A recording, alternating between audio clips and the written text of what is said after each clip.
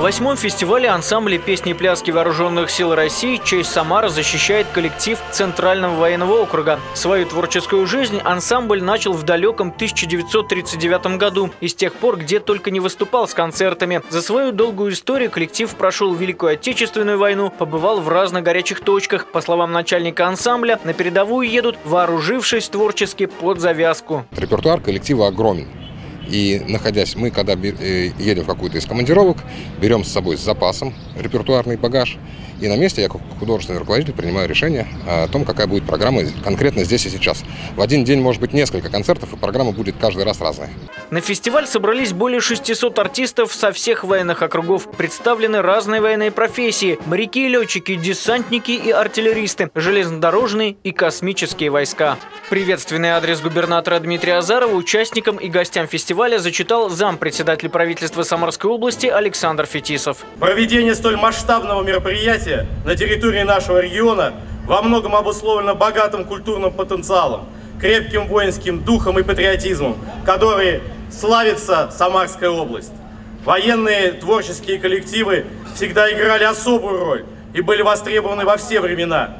И сейчас, когда Россия восстанавливает справедливость, защищает миллионы людей от геноцида и насилия, крайне важно поддерживать и поднимать боевой дух наших военнослужащих. Профессиональные артисты в погонах попробуют покорить сердца зрителей военно-патриотическими произведениями, аранжировками народных песен и хореографическими постановками. На фестивале помимо победителей выберут лучший коллектив во всероссийском отборочном конкурсе «Армия культуры», который отправится защищать честь страны на армейские международные игры 2022. Я вас от души поздравляю, что вы приняли участие в этом фестивале.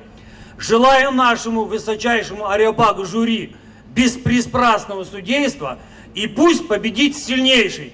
Несите военное искусство в массы народ. Выступление военных ансамблей можно будет увидеть в окружном доме офицеров с 1 по 4 июня. Гала-концерт и награждение победителей состоится там же в воскресенье 5 числа в 3 часа дня. Вход для зрителей свободный. Горожане уверены, фестиваль ансамблей песни и пляски Вооруженных сил России несомненно станет ярким событием для самарцев и гостей мегаполиса. Очень э, интересно, впечатляюще, мощно. Они заряжают людей людей, я думаю, даже не военных, всем интересно будет посмотреть. Ансамбли выступят не только в рамках фестивальной программы, они дадут концерты в Самарском госпитале раненым солдатам, а также в воинских частях Самарского гарнизона, на концертных площадках и парках города. Сергей Кизоркин, Николай Сидоров. События.